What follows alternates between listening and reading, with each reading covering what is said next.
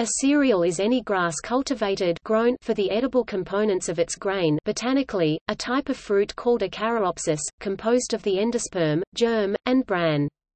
The term may also refer to the resulting grain itself specifically, cereal grain. Cereal grain crops are grown in greater quantities and provide more food energy worldwide than any other type of crop and are therefore staple crops. Edible grains from other plant families, such as buckwheat Polygonaceae, quinoa Amaranthaceae, and chia Lamiaceae, are referred to as pseudocereals. In their natural, unprocessed, whole grain form, cereals are a rich source of vitamins, minerals, carbohydrates, fats, oils, and protein. When processed by the removal of the bran, and germ, the remaining endosperm is mostly carbohydrate. In some developing countries, grain in the form of rice, wheat, millet, or maize constitutes a majority of daily sustenance. In developed countries, cereal consumption is moderate and varied but still substantial. The word cereal is derived from Ceres, the Roman goddess of harvest and agriculture.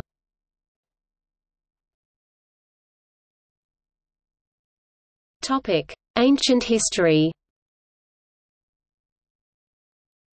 Agriculture allowed for the support of an increased population, leading to larger societies and eventually the development of cities. It also created the need for greater organization of political power and the creation of social stratification, as decisions had to be made regarding labor and harvest allocation and access rights to water and land. Agriculture bred immobility, as populations settled down for long periods of time, which led to the accumulation of material goods. Early Neolithic villages show evidence of the development of processing grain. The Levant is the ancient home of the ancestors of wheat, barley and peas, in which many of these villages were based. There is evidence of the cultivation of cereals in Syria approximately 9,000 years ago. During the same period, farmers in China began to farm rice and millet, using human-made floods and fires as part of their cultivation regimen. Fiber crops were domesticated as early as food crops, with China domesticating hemp, cotton being developed independently in Africa and South America, and Western Asia domesticating flax.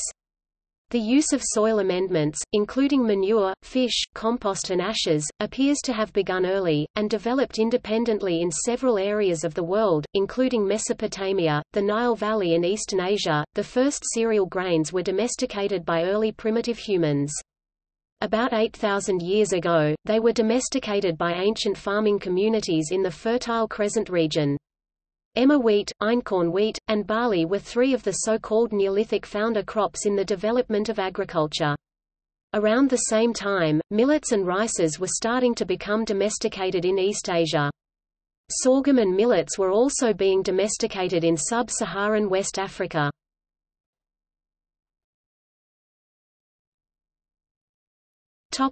The Green Revolution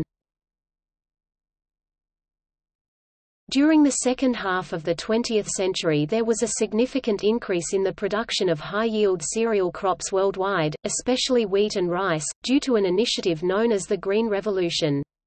The strategies developed by the Green Revolution focused on fending off starvation and increasing yield per plant, and were very successful in raising overall yields of cereal grains, but did not give sufficient relevance to nutritional quality.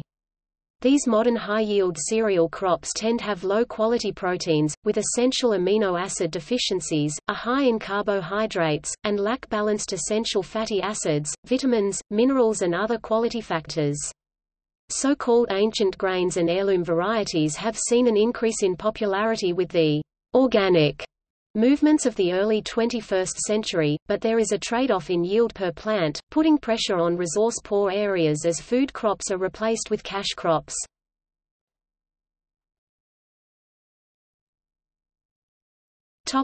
Farming. While each individual species has its own peculiarities, the cultivation of all cereal crops is similar. Most are annual plants, consequently one planting yields one harvest. Wheat, rye, triticale, oats, barley, and spelt are the cool season cereals. These are hardy plants that grow well in moderate weather and cease to grow in hot weather approximately 30 degrees Celsius 86 degrees Fahrenheit, but this varies by species and variety. The warm season cereals are tender and prefer hot weather. Barley and rye are the hardiest cereals, able to overwinter in the subarctic and Siberia.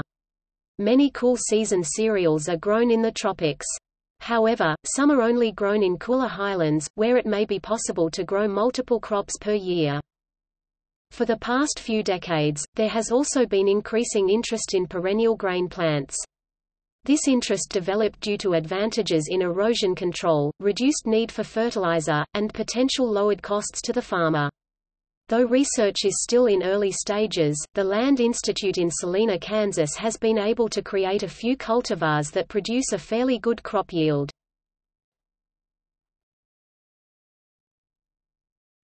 Topic: Planting. The warm season cereals are grown in tropical lowlands year-round and in temperate climates during the frost-free season. Rice is commonly grown in flooded fields, though some strains are grown on dry land. Other warm climate cereals, such as sorghum, are adapted to arid conditions. Cool season cereals are well adapted to temperate climates. Most varieties of a particular species are either winter or spring types. Winter varieties are sown in the autumn, germinate and grow vegetatively, then become dormant during winter. They resume growing in the springtime and mature in late spring or early summer. This cultivation system makes optimal use of water and frees the land for another crop early in the growing season. Winter varieties do not flower until springtime because they require vernalization, exposure to low temperatures for a genetically determined length of time.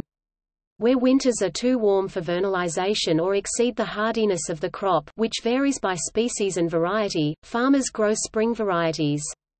Spring cereals are planted in early springtime and mature later that same summer, without vernalization. Spring cereals typically require more irrigation and yield less than winter cereals.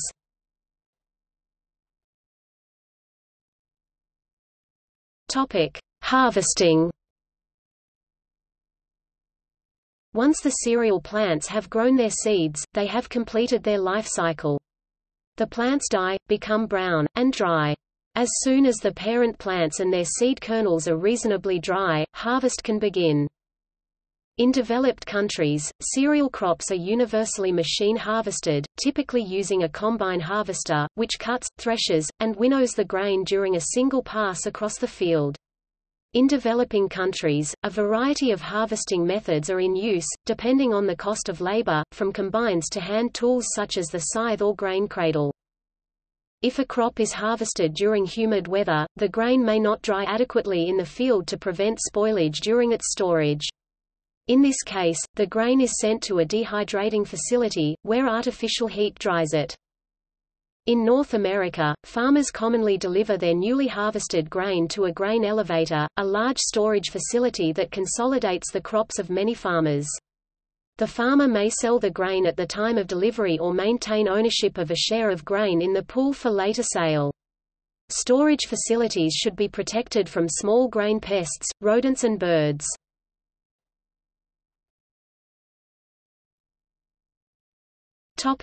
Production The following table shows the annual production of cereals in 1961, 2010, 2011, 2012, and 2013 ranked by 2013 production.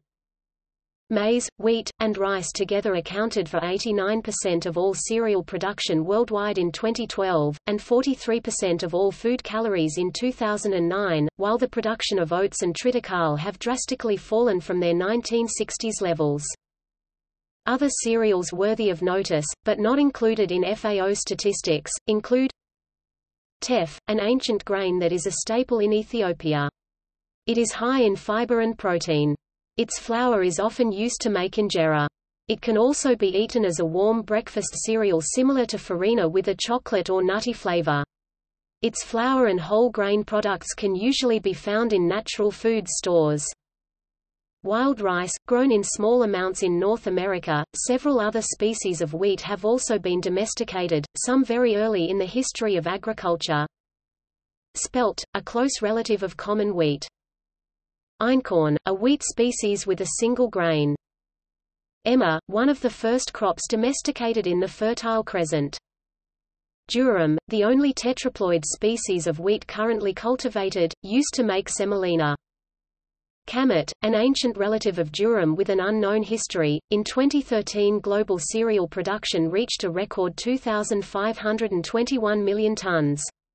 A slight dip to 2,498 million tons was forecasted for 2014 by the FAO in July 2014.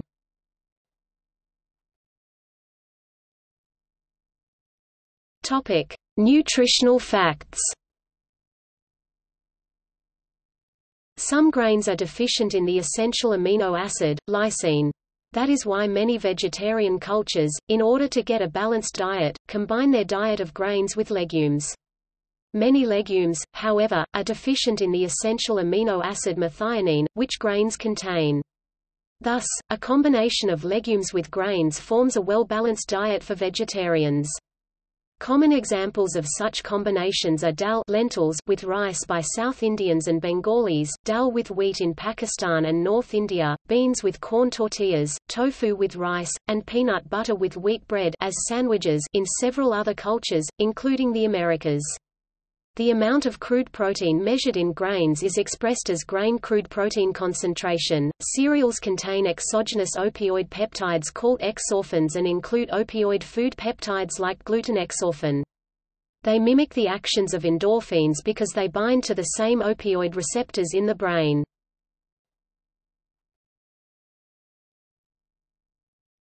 Topic: Standardization.